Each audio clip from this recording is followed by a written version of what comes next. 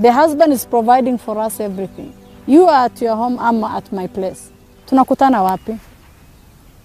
If you're a good woman, by now, because women were very many, tukihesabiwa we almost how many millions, inafika mahali mwanaume mmoja itafika mahali ataoa almost hata tano ama hata kumi, because sasa wanawake tuko wengi. The early you, the early you accept polygamy, the better, or else utaumia.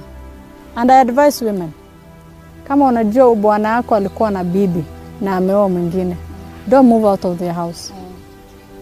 Kaa kwako, linda boma yako, linda nyumba yako. Ni nini? Mwanaume si anakuja anarudi nyumbani, is providing everything. What else? It's bitter, yes, I know, but time will heal. You will be good, you will take care of your family. You better accept polygamy.